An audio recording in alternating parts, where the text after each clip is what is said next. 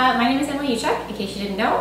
Um, I thought I would put together a little tutorial video doing uh, a arrangement with the Sweet Pea blends that I put together, explain a little bit why I chose the shades uh, and varieties that I did, and I'm also at the end going to do a quick little Sweet Pea floral crown uh, for your little darling in your life or yourself, uh, for to make a little Sweet Pea fairy uh, party, which is what we did yesterday and I'll have a blog on that later. Um, so I'm going to show you quickly how to make the crown. But right now I'm going to show you how to make an arrangement.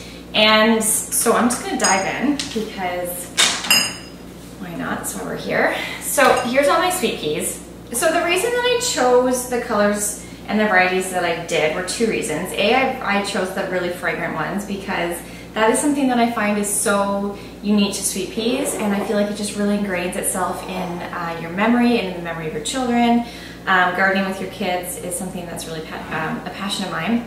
So I just, I love the association of sweet peas and their beautiful smell. I have them all around the arbor of my cutting garden and so when you walk through there, especially in the evenings when there's a little bit of a breeze, it just smells incredible. So I chose the more muted varieties because I love to use sweet peas in and amongst other flowers and so I find that the more traditional sweet peas that you find, like the really, and this is actually even on the more muted side, but uh, traditionally the ones that you see like growing wild or, you know, you can see flower seeds for, are very vibrant, which is really fun to have on their own and I love them as well.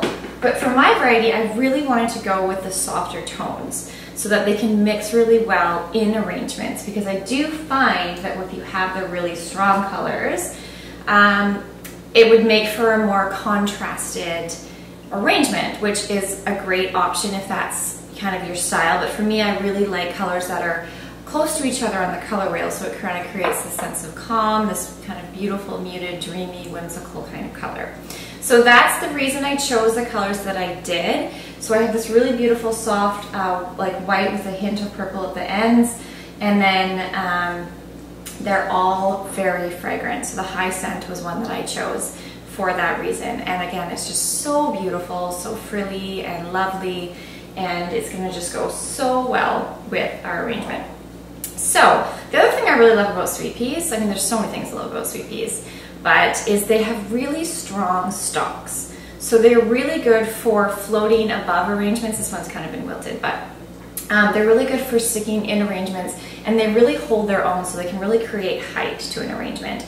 And a lot of flowers um, just don't have that strength. So like cosmos, that sort of thing, wouldn't be able to hold their stuff up. So for so sweet peas are really, really awesome for that. The other really nice thing, which we will get to when we start doing the crown, is because of these stalks, they're so easy to make crowns with because you can weave them in their stalk with each other. So they're so multi-purpose in terms of creating beautiful things with them. So let's dive in. So this is the bowl that I've chosen. And I got this tip from a florist who actually did a workshop at my greenhouse this summer.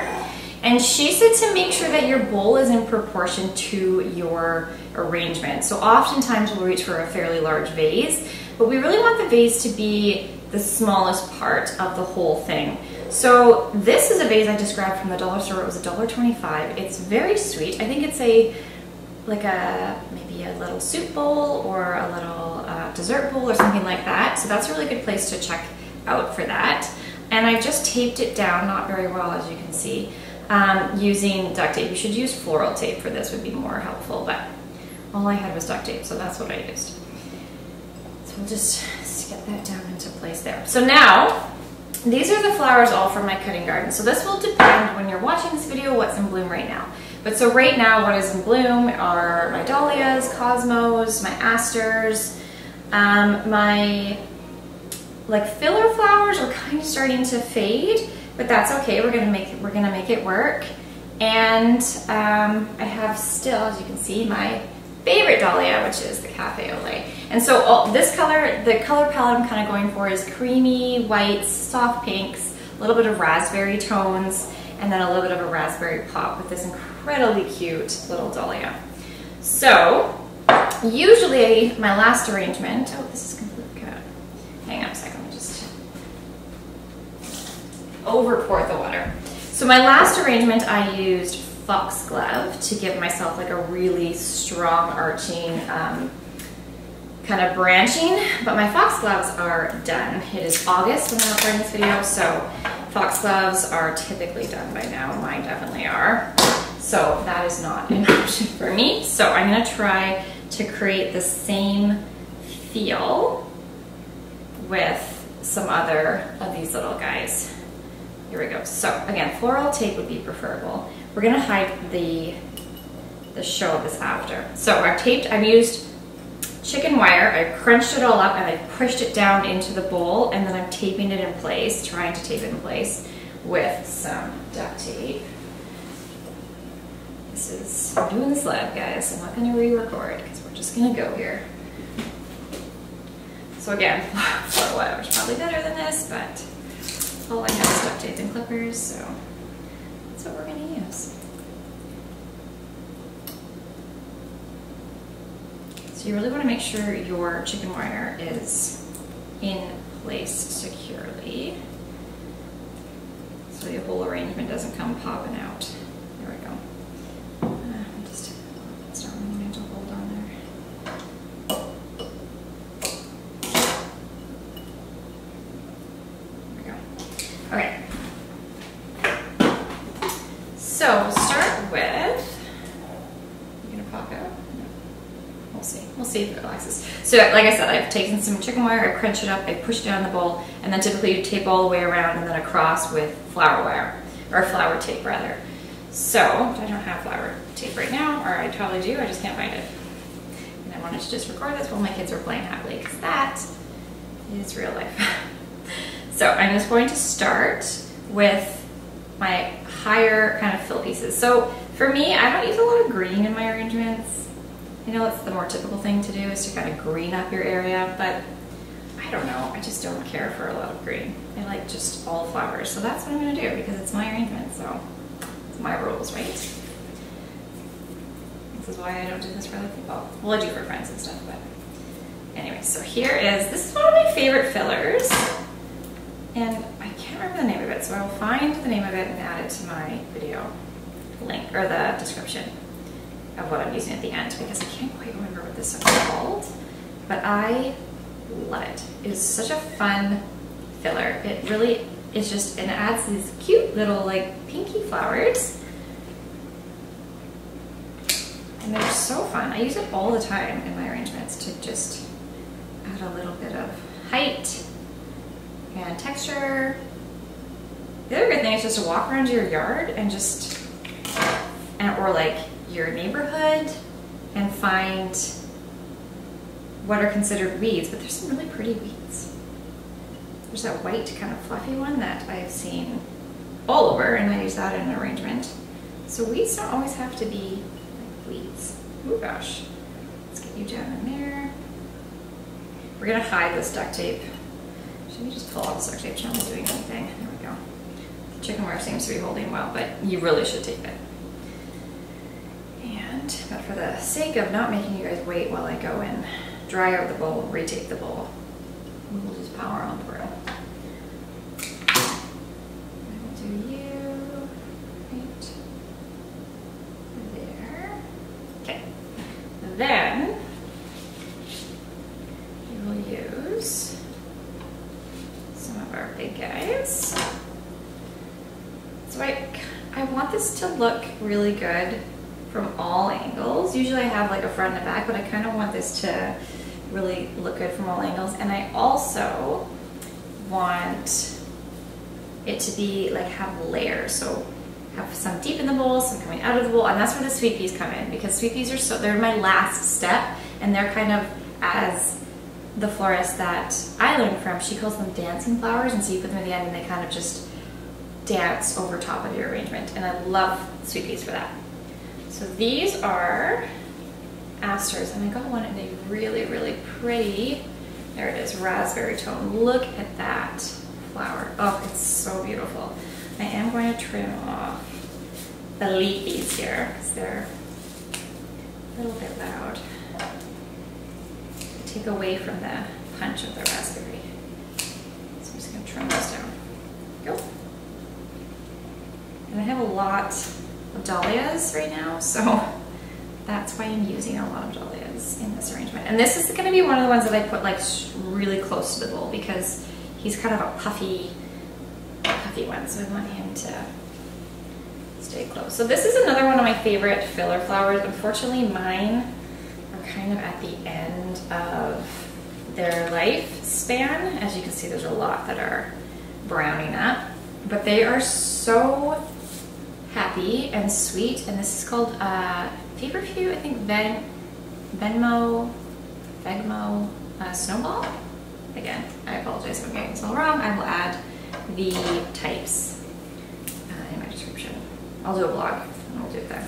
So this is the, so cute. It's like little popcorn pops. I just love them. I think it adds so much to an arrangement. Always add them if I can. Like I said, it was slim pickings out there for my, I just went out and tried to do another little quick peek to see if I miss them. And they're all looking a little bit sad, so I just took what I could get. Okay. And then I'm going to add, oh, I need to get my big guy in before we do too much. So this is the Grand kind of piece of all this, and this is the Cafe Lait. She is absolutely stunning. Her off to the side here. So the nice thing about the chicken wire is that it has multiple kind of areas that she's going to grab onto. So it's it's really helpful if you can get it to thread to, through two places. There we go. And then that will keep it from collapsing or like falling over. So I'm just going to rearrange a few things now around her because she's taken up more space than I planned and that's okay. She's also covering the duct tape on that side, which is very helpful. There we go. And then I'm going to use this beautiful dahlia. Look how gorgeous the tones are in this. To bring some balance over to this side.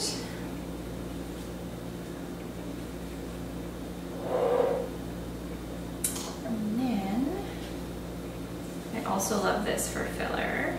So sweet. Again, it's late in the season. The temperatures are starting to drop. Things are starting to, you know, head towards fall, and that's okay.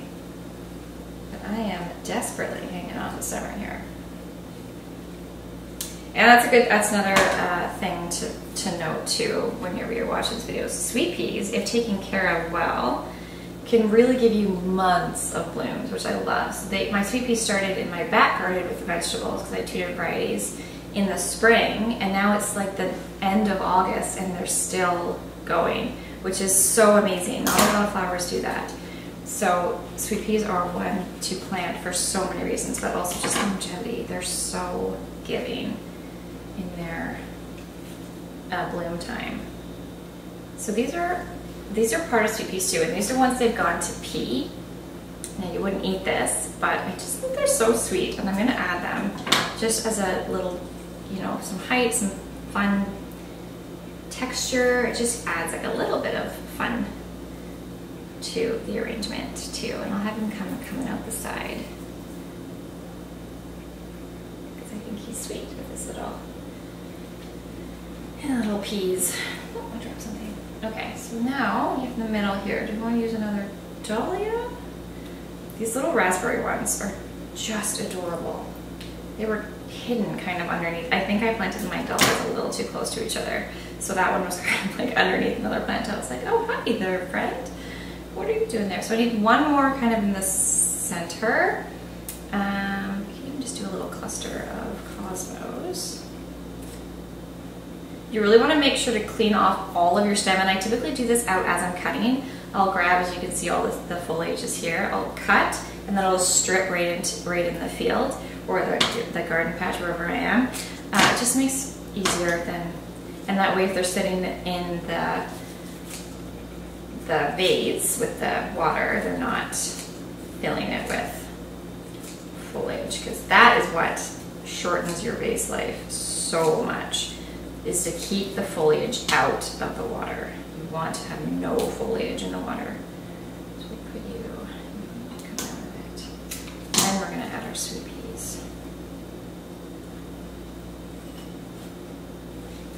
Okay, so that's kind of giving me like a mound. So I'm gonna kind of go in, like I said, I wanted to have this a few different layers.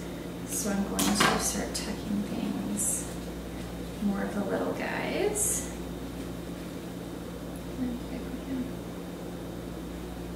Look how sweet that little friend is. With him kind of poking out.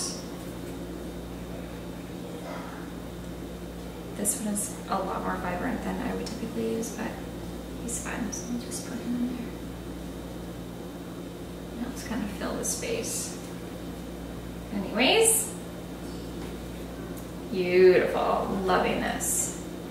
You in their water so you're not. Again, I'm going to use this little pea pod because I just think they're so sweet. Okay, now that's looking good. Oh, a little bug happened to pop out here and say hello. So now we're going to use my favorite little sweet peas to kind of give this whole thing a little bit more pizzazz, a little bit more height, and more of a, a dynamic feel. So like I mentioned, this is why I love the neutrals because they just go with everything. Doesn't matter what tones you were using in this arrangement, the sweet peas would, this variety that I, I picked for the Yew Greenhouse blend, is meant to just be your best friend with every arrangement that you want. It's just gonna add this fluffy whimsicalness to whatever colors you're using. They don't need to be the star of the show. They're just gonna be there to bring everybody else's best sides out. That is like the best friend you could ask for, right? Sweet peas are the best friend of the flower world. I'm gonna quote that. That's gonna be my quote get that on a t-shirt. Okay, you can go. See, now you're getting hidden down in there. Maybe I'll pull you out. There we go. Uh, ba -ba -ba Where should I put you? You can go over here. There we go. Love it. Pull him down just a touch pull him out because he was very sweet, but he's getting kind of hidden. Hi. This giant aster. Here we go. There we go. Okay, so as you can see, I'm to move some space here so you can actually see what's going on here. This is a very full range. So to go step back and take a look at it here. The cafe au lait is just dominating that side. That's okay. Again, just get some that are like really high just to really give this so much different. So this I think is fun from all angles. The sweet peas are coming out at you. If you look closer, you're gonna see all the little details of the little filler flowers, the cosmos, the aster tucked in there, the little stalk. Oh, there is an earwig. We'll leave him be for now until I can get a... Okay. Yes, hello, Mr. Earwig. That is the downside of dahlias, is they always have earwigs. Let's get him out of here. Know if towel is. I'll have to deal with him later. Anyways, hopefully he's not gonna do too much. Come here, little friend. No, you're not a little friend. You were nasty. Get out of my flowers. Where'd you go? He ran away. Okay, anyways, we'll, we'll find him later. Okay, so this is what we have so far with an earwig in it. So don't put it on your dinner table quite yet. But look how pretty that is. I may use one of the pink ones. And I love that you can strip off and just have this one all by itself, just really, really coming up high to give some fun height to this arrangement. Oh, he's a little bit sad. A little bit, There we go. Look how fun are they? I just love them. They're so tissuey and pillowy soft and they're just so lovely. So there we go. And it's nice because this didn't require a lot of flowers. This was maybe less than 10 stems. So even if you are buy-in if you don't have all of this variety. If you're just growing sweet peas or you're just growing this or this or this, you can just pick up a few stems from your florist, your local florist or your local flower farm or whatever, and create this beautiful centerpiece for your dining room table or your nightstand or your kitchen island or wherever you like to put your flowers. Make a few, um, put it as a centerpiece in your girls' sweet pea tea party, which I did yesterday, and I'll be sharing some photos from that, which is really fun. I actually just lined the table with a bunch of these beautiful glassware that I just grabbed at a thrift shop. Um, and I put sweet peas all in them and lined them down the table, which is another really great way to use your sweet peas. So yeah, hope you guys like this arrangement. If you have any questions, of course, reach out to me. I'm always here. I'm gonna go see if I can get this earwig out of my flower. Thank you.